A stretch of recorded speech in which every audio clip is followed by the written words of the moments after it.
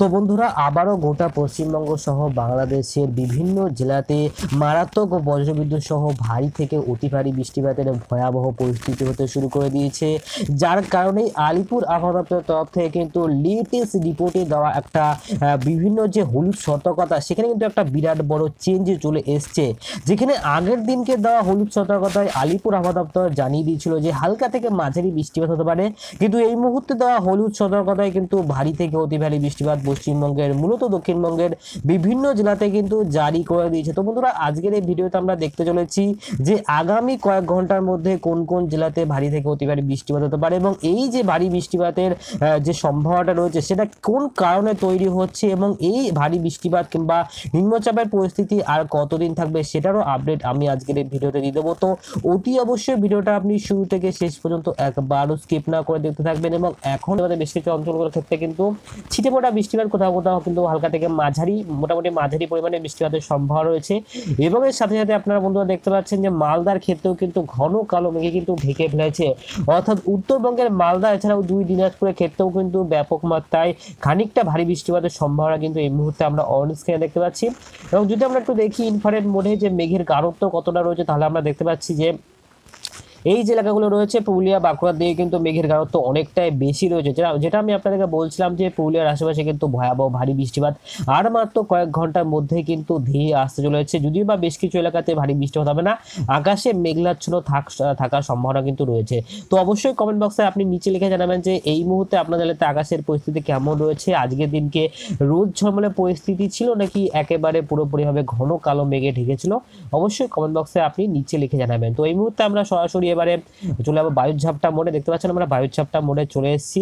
এবং আলিপুর আবহাওয়া দপ্তরের তরফ থেকে যেটা বলা হচ্ছে যে, এই মুহূর্তে ঘন কালো মেঘ এবং বজ্রবিদ্যুৎ সহ বৃষ্টিপাতের পেছনে মূলত একটাই কারণ রয়েছে যে, মৌসুমী বায়ুর অক্ষরেখা কিন্তু এই মুহূর্তে পশ্চিমবঙ্গের বিভিন্ন কিন্তু জেলার উপর দিয়ে গেছে। মূলত মালদার উপর দিয়ে থেকে শুরু করে ত্রিপুরা পর্যন্ত এই ভয়াবহ নিম্নচাপের অক্ষরেখা এই মুহূর্তে বিস্তৃত হয়ে রয়েছে।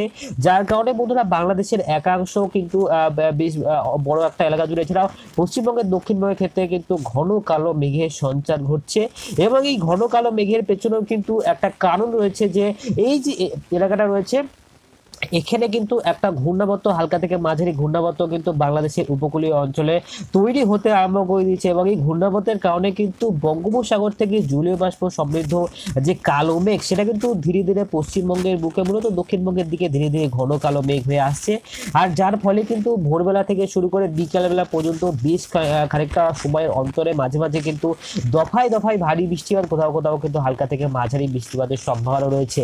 তবে এই ভারী বৃষ্টিপাত কিংবা হালকা থেকে মাঝারি বৃষ্টিপাত আর কতদিন থাকতে পারে সেটাও আমি আপনাদের, আপনাদেরকে আপডেটটা দিয়ে দেবো। তবে তার আগে এই মুহূর্তে খানিকটা আমরা ট্র্যাকটাকে ফাস্ট ফরওয়ার্ড করে দেবো এবং আপনাদেরকে দেখাবো যে বঙ্গোপসাগর উত্তাল হওয়ার পরিস্থিতি কতটা রয়েছে এই মুহূর্তে। দেখতে পাচ্ছেন আমরা খানিকটা ট্র্যাকটাকে চালিয়ে দিচ্ছি এবং ধীরে ধীরে আমরা যেটা দেখতে পাচ্ছি যে পশ্চিমবঙ্গের আশেপাশের অঞ্চল কিন্তু এই মুহূর্তে উত্তাল হওয়ার পরিস্থিতি কিন্তু হতে আরম্ভ করে দিয়েছে। বৃহস্পতিবার দিনকে পশ্চিমবঙ্গের ঠিক গা ঘেসে একটা কিন্তু বিশ এলাকার বলা যেতে পারে যে তীব্র বায়ু প্রবাহ সেটা কিন্তু লক্ষ্য করা যাবে।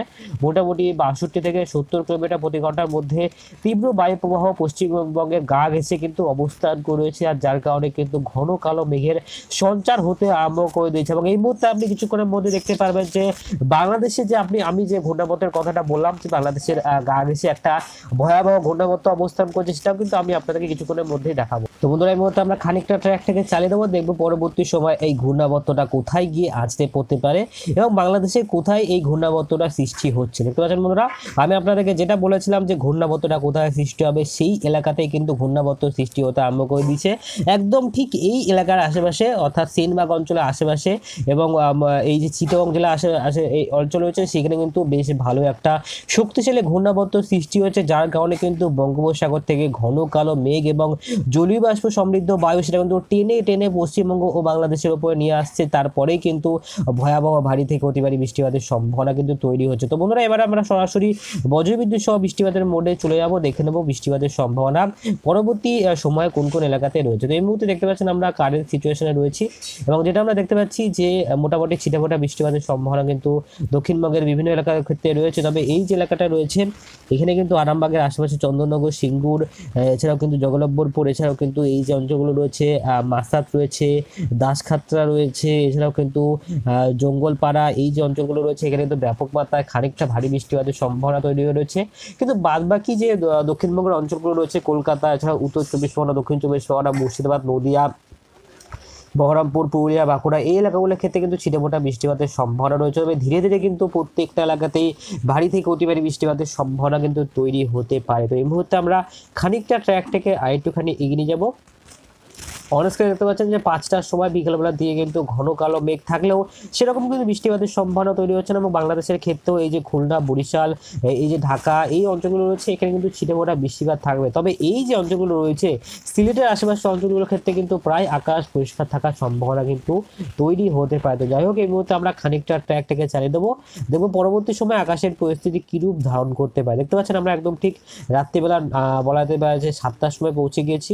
অনস্ক্রিনে দেখতে পাচ্ছেন বন্ধুরা যে আরামবাগের আশেপাশে কিন্তু সাতটার সময় মোটামুটি মাঝারি পরিমাণে বৃষ্টিপাতের সম্ভাবনা তৈরি হতে পারে।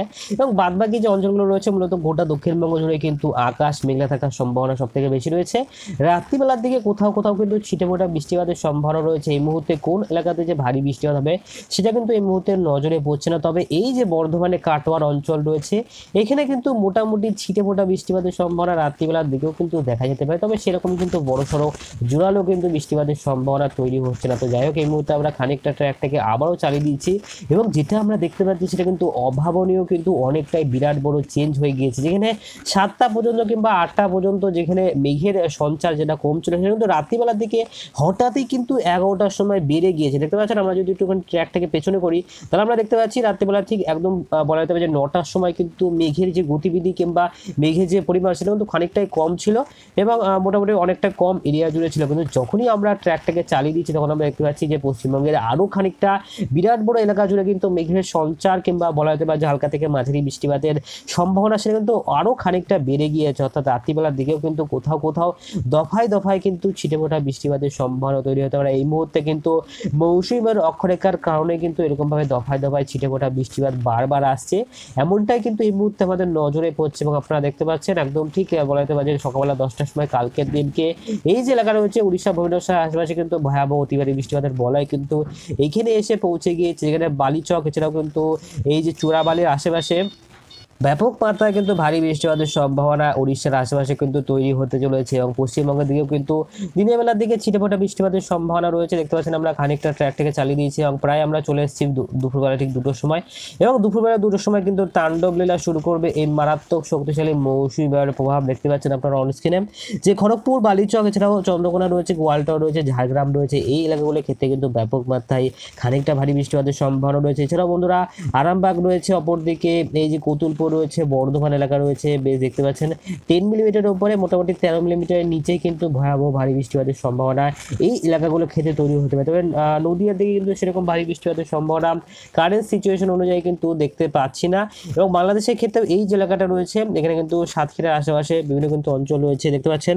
সাতক্ষীরাতে কিন্তু ভয়াবহ ভারী বৃষ্টিপাতের সম্ভাবনা রয়েছে। এছাড়াও তালার আশেপাশে, অপরদিকে বন্ধুরা যদি আমরা একটুখানি এদিকে আসি কেশবপুরের আশেপাশেও কিন্তু ভয়াবহ ভারী বৃষ্টিপাতের সম্ভাবনা কিন্তু তৈরি হচ্ছে। বুঝতে পারছেন বন্ধুরা যে আজকের দিনকে এবং কালকের দিনকে পর্যন্ত এই বৃষ্টিপাতটা থাকবে এবং আলিপুর আবহাওয়া কথা মতন কিন্তু বৃহস্পতিবার দিনকে পর্যন্ত ভারী থেকে অতি ভারী বৃষ্টিপাতের সম্ভাবনা রয়েছে। এই মুহূর্তে আমরা সরাসরি আমরা চলে যাব আলিপুর আবহাওয়া দপ্তরের তরফ থেকে পাওয়া লেটেস্ট রিপোর্টের দিকে।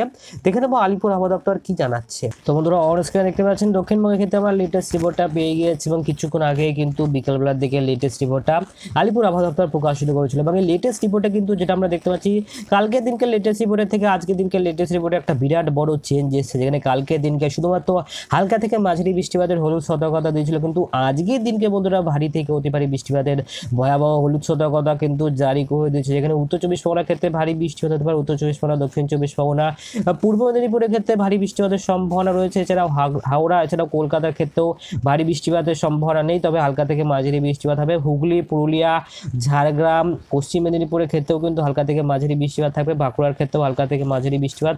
এছাড়াও পূর্ব বর্ধমান, পশ্চিম বর্ধমানের ক্ষেত্রেও হালকা থেকে মাঝারি বৃষ্টিপাতের সম্ভাবনা থাকলেও বর্ধমানের ক্ষেত্রে, বীরভূমের ক্ষেত্রেও কিন্তু মোটামুটি দেখা যাচ্ছে যে ভারী বৃষ্টিপাতের সম্ভাবনা রয়েছে। মুর্শিদাবাদের ক্ষেত্রে হালকা থেকে মাঝারি এবং নদিয়ার ক্ষেত্রেও ভারী বৃষ্টিপাতের সম্ভাবনা রয়েছে। তো অনেকটাই বিরাট বড় চেঞ্জ কিন্তু চলে এসছে।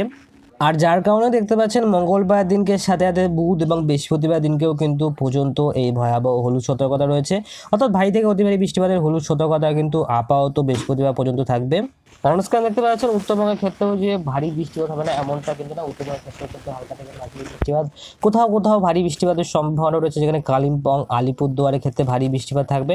এছাড়া বাদবাকি জেলাগুলোর ক্ষেত্রে অর্থাৎ দার্জিলিং, জলপাইগুড়ি, এছাড়াও কোচবিহার, উত্তর দিনাজপুর, দক্ষিণ দিনাজপুর, মালদা, এতগুলো জেলাতে কিন্তু হালকা থেকে মাঝারি বৃষ্টিপাতের সম্ভাবনা রয়েছে। তো কোথাও কোথাও কিন্তু দফায় দফায় ভারী বৃষ্টিপাত উত্তরবঙ্গের ক্ষেত্রেও কিন্তু থাকতে চলেছে, এমনটাই কিন্তু জানাচ্ছে আলিপুর আবহাওয়া দপ্তর। তো বন্ধুরা, মূলত আজকের ভিডিওতে এইটুকু লেটেস্ট আপডেট দেওয়া ছিল যে আবারও কিন্তু ভয়াবহ নিম্নচাপের সাথে সাথে দক্ষিণ, পশ্চিম মৌসুমী বায়ুর অক্ষরেখা পশ্চিমবঙ্গের ওপরে অবস্থান করে রয়েছে যার ফলে কিন্তু ভারী বৃষ্টিপাতের সম্ভাবনা দক্ষিণবঙ্গের সাথে সাথে উত্তরবঙ্গের বিভিন্ন জেলার ক্ষেত্রে রয়েছে। তো আপনার যদি ভিডিওটা ভালো লেগে থাকে, তাহলে অবশ্যই ভিডিওটাকে একটা লাইক করবেন কমেন্ট বক্সে অবশ্যই লিখে জানাবেন যে এই মুহূর্তে আপনার জেলাতে আকাশের পরিস্থিতি কেমন হয়ে রয়েছে। তো আপনাকে অসংখ্য অসংখ্য ধন্যবাদ এই ভিডিওটা শুরু থেকে শেষ পর্যন্ত দেখার জন্য।